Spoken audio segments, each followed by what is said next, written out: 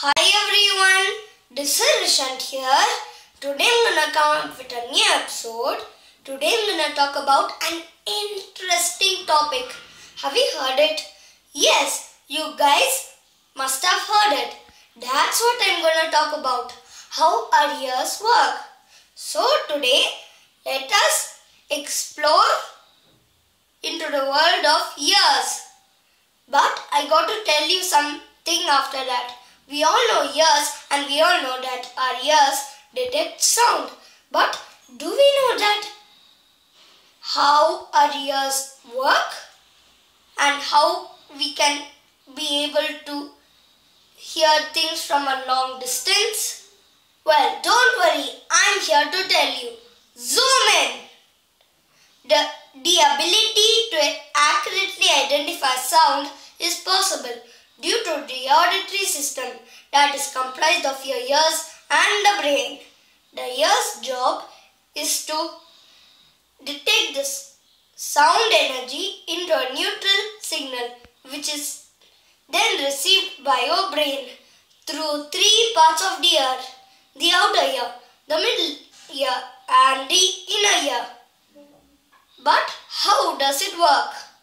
It all starts with the sound waves falling on the outer part of your ear known as the pinna and then through the ear canal another part of your outer ear and heads towards the middle part of your ear hitting the ear eardrum a very delicate piece of tightly stretched skin making it vibrate like the head of an actual drum.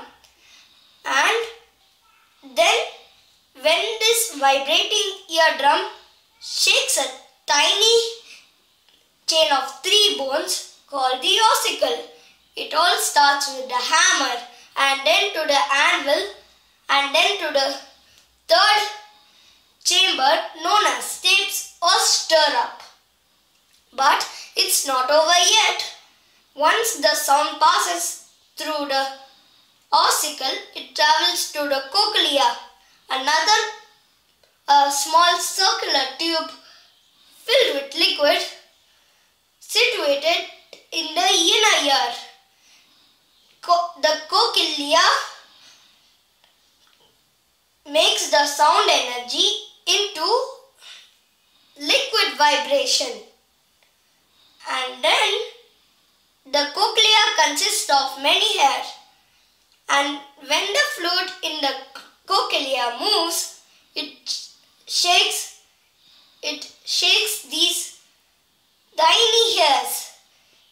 And then it gets sent to through the nerves nerve endings and then into your brain.